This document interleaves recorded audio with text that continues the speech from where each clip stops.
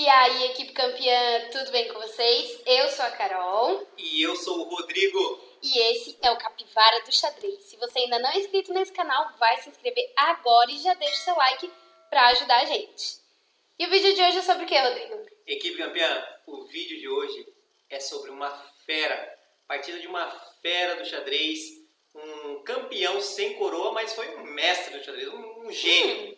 Rashid Nesmetidinov. Olha só. Rashid Nesmetidinov. Rashid Nesmetidinov. De onde é, que ele, ele é? conhecido, o pessoal chama ele de o Super NES. Super NES? Super NES. Parece um videogame, mas não é. Hum. Super NES.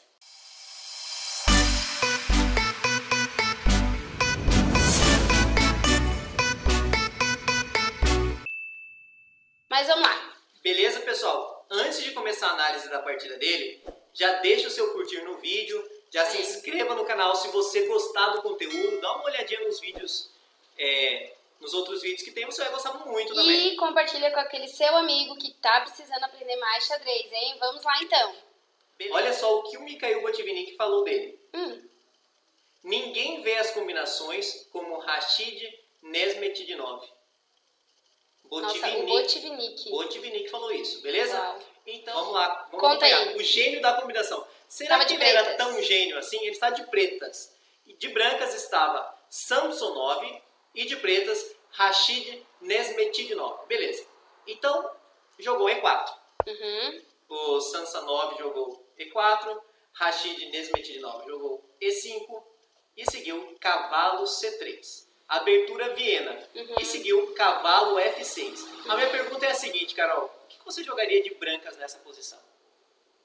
Ou o que você espera que as brancas joguem nessa posição? Eu acho que o desenvolvimento natural, um cavalo. É, cavalo F6. F6 é branco que joga. Ô meu jovem, é branco que joga. Cavalo F3. Cavalo F3. O que mais? Bispo C4. Bispo C4 coisas assim. Isso. Então foi jogado F4. Hum. F4. Gambito Viena. E aí, o que você responde? O que será que as pretas responderam? O que, que Rashid Nesmetidinov responderia nessa posição? Deve ser peão por. Peão por? É. Olha só que interessante, equipe campeã. Ele jogou D5. Esse é o segredo. Nessa, nessa abertura, joga atacando o centro, D5. Beleza? Hum. Porque olha só, se você jogasse peão captura, você leva peão, ataca o cavalo e após cavalo G8, hum. o seu jogo está passivo, não é mesmo? Ah, entendi, porque não tem casa pro cavalo depois. Isso. Entendi. Então por isso que após, olha só, E4, E5, cavalo C3, cavalo F6, F4, joga-se atacando o centro. Tá. D5. Então, oh, vou tentar jogado... fazer isso nas minhas partidas. Isso, o Samsonov jogou peão, captura peão. Uhum. Jogou peão F, captura e5. Agora pode capturar Isso. E4. Olha só o que aconteceria se ele capturasse em D5. Seguiria cavalo por, F captura E5, cavalo captura, B captura, dama, cap, dama cheque. Uhum. Se jogasse aquela, essa sequência, tá. F captura E5, seguiria G3 e dama E4 cheque. Uhum. Então, e ganha a torre, né? Nada disso aconteceu. Então, tá. após F captura E5, seguiu cavalo captura e4. E nessa posição? Sim. O que o, o Samsonov jogou? O Samsonov estava de brancas, né? De brancas e Rashid tá. de 9 de pretas. O que, você jogaria, equipe campeão? Você que está assistindo. Provavelmente cavalo por para resolver esse problema aí já. Olha que interessante. Hum. Cavalo por. Cavalo por cavalo. Foi jogado cavalo F3. Hum. Desenvolvendo a peça. Tá. Seguiu bispo B4 Uhum. E dama E2. Beleza? Nessa posição, o que você jogaria de brancas? Você que está assistindo também, o que você jogaria? Você, Carol, jogaria o quê? De brancas, é, não foi feito dama E2, então. O que você jogaria de pretas, melhor. Ah, tá, de pretas. Isso, oh, desculpa. Tá, deixa eu ver aqui. O que você jogaria de pretas aí, equipe campeã? Será que já tem alguma coisa acontecendo? Não sei, tem muita... tema posicional. Esse tema posicional também tem na defesa francesa. Ah, é, bispo G4, cravando cavalo. Ele vai jogar no próximo, porque agora ele fez bispo captura cavalo. E por qual motivo ele jogou bispo captura cavalo e não cavalo captura cavalo? Porque quando ele é. joga bispo captura cavalo, seguiu. B captura bispo, Hum, o cavalo na Casa Branca ele está muito poderoso. Então ele continua pressionando o adversário e está atacando a casa G3, um termo muito importante dessa, dessa variante. Aqui ele jogou o lance da Carol, o bispo grobiano, bispo em G4. E aqui seguiu o inacreditável bispo, bispo, dama cheque, atacando o rei e atacando o peão B7. E aqui seguiu C6. E todo mundo pensa, Vai "Ô, pegar Rodrigo, peão." Rodrigo, após B7, tá atacando a torre. O que que o Nesmet de 9 jogou aqui nessa posição? Ah, ele vai fazer cavalo D7 e o peão vai avançar. Será que foi isso? Não sei. Foi Não sei. Bispo captura cavalo. Que tema interessante. Pessoal, olha só que ideia interessante. O Nesmet de Nossa! 9, ele viu dama cheque atacando o rei. Por isso ele jogou o bispo pro cavalo.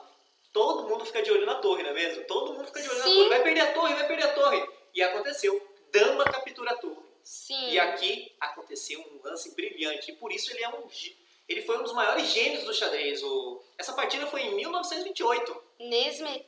Nes... Nesmeti de 9. Esse nome dele é muito complicado. Igual o jogo dele. O Mikhail Tal tinha medo de jogar contra ele. Tinha Jura? medo de jogar contra O ele. Mikhail O Mikhail Tal. Tal. E aí, nessa posição, Uau. o que, a preta joga? O que você jogaria de pretas nessa posição? Esse não é um nome muito conhecido no xadrez, né? É muito conhecido, Carol. É. É muito Eu conhecido. já ouvi falar muito de Mikhail Tal, mas desse jogador eu não tinha O nome dele só ainda. é complicado, mas falam dele. E aí, o que você jogaria? Tá, eu jogaria dama cheque de pretas. Dama cheque, não é mesmo? Porque depois eu quero rocar também pra É. proteger meu cavalo. Todo mundo no inteiro jogaria dama cheque. Não foi isso Mas ele fez. não fez isso. O que, que ele fez? O gênio Super NES Nossa. jogou bispo captura peão. Porque dessa forma ele elimina o peão que poderia ir para G. Olha o que aconteceu.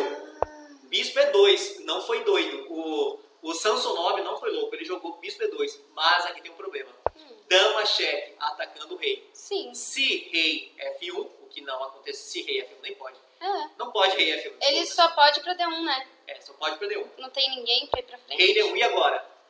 O que, que o preto joga? Lindo!